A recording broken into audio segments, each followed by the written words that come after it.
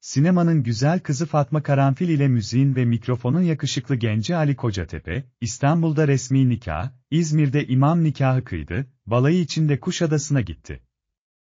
Böylece yıllardır sürmekte olan bir aşk öyküsü, mutlu sonla noktalanmış oldu. Ali Kocatepe, 1975 yılının 21 Nisan günü, İstanbul'da Beşiktaş Evlendirme Dairesi'ndeki nikah töreninde dayanamadı ve spikerliğin verdiği rahatlıkla, evet'i, mikrofonu eline alarak söyledi. Sonra yeni evli çift, sevdiklerinin, dostlarının, arkadaşlarının eşliğinde Yeşilköy'e geldi ve uçağa bindi. İzmir'de, gelinle damada ev sahipliği görevini, Telespor gençlerle sunucusu Bülent Gül üstlendi. Ali ile Fatma, Gül ailesinin evindeki keyifli bir eğlenceden sonra, otomobille Kuşadası'na gitti.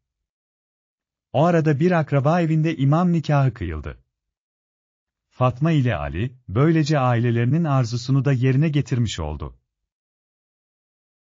Damat Ali Kocatepe, evlendikten sonra verdiği ilk demeçte, evlenmek çok güzel şey, dedi ve konuşmasını şöyle sürdürdü. Tanrı'ya şükürler olsun, beni çok iyi anlayan ve kendisine adeta taptığım Fatmam'la hayatımızı birleştirdik. İnsanın sevdiği ile hayat boyu yaşaması çok güzel. Gelin Fatma Karanfil Kocatepe ise şöyle konuştu. İnsanlar birbiriyle anlaştığı sürece mutludur. Bir kadının hayatı, sevdiği kişi yanında olduğu sürece anlam kazanır.